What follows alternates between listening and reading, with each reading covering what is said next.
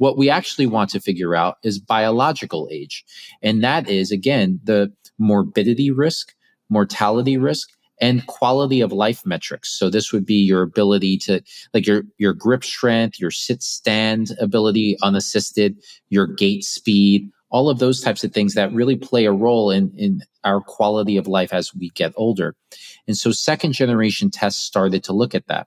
That's what, for example, the GrimAge clock is that I just mentioned. That's a second generation clock.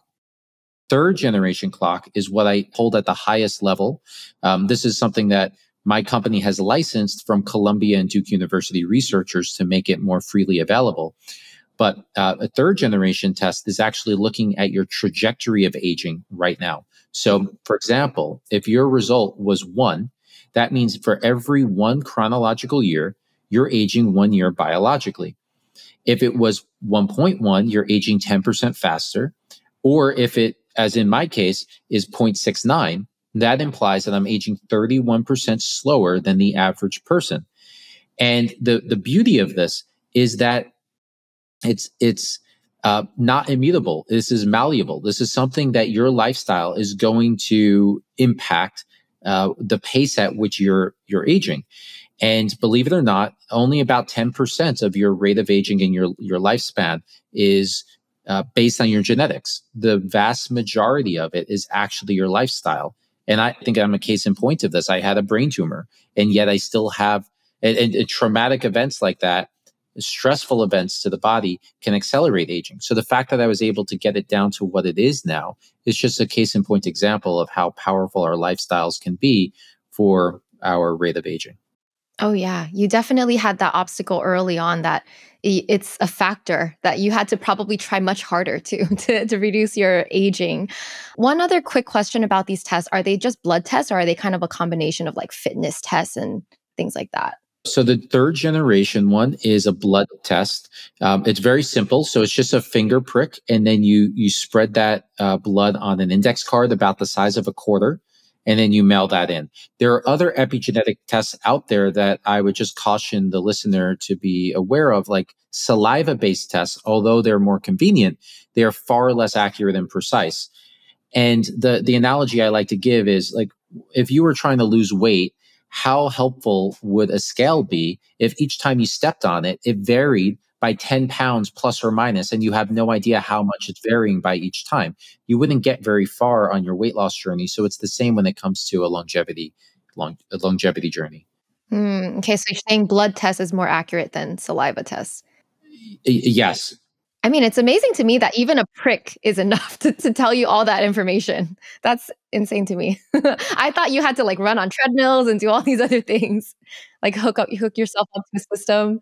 Yeah, which which which is great, and I I've done all of those things as well, right? So I, I would say like if you're really into it, like I am, then uh, you you try all of these other tests, and then you see if they're in agreement with each other. So, for example, uh, what you're referring to uh, when, when you have like the mask on and you've got the wires on your chest and so on, that's measuring uh, VO2 max that I mentioned earlier, oh. and so oh. that for me um, implies 30% slower aging, which is like right in the neighborhood of the 31% slower aging that the epigenetic test found.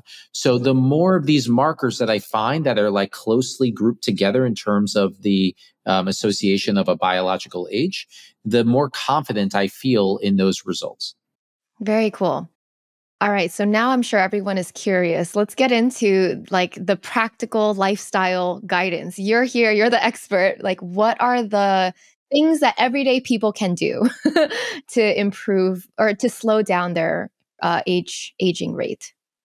Yes. So, you know, there's a lot of health advice out there. And what I would say is that simply because something seems to be healthy or provides a short term benefit that's associated with health does not mean it's actually good for longevity or lifespan. I'll give you an example, a quick, simple example.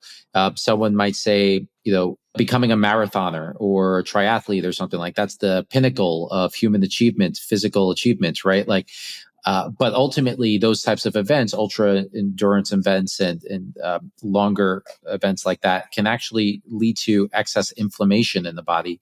And that can actually have negative effects on, for example, cardiovascular outcomes.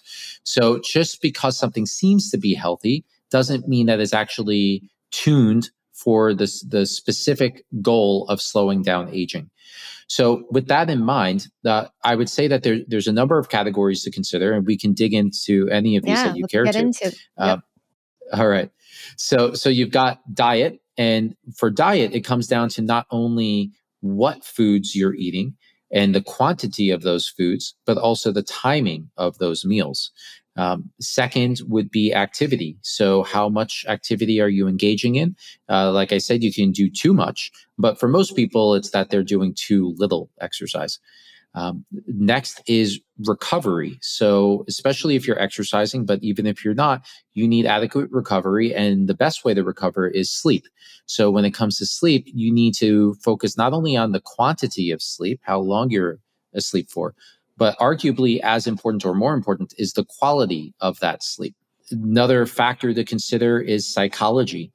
Everything from stress management to uh, optimism to having a purpose in life all of these have been associated with longer lifespans and better health spans, so reduction in risk of many different diseases.